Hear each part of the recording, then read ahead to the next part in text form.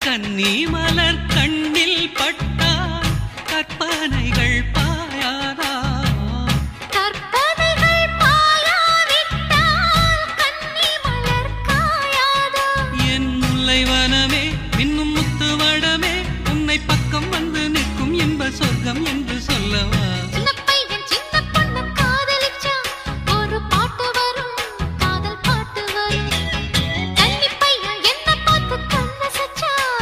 caught you.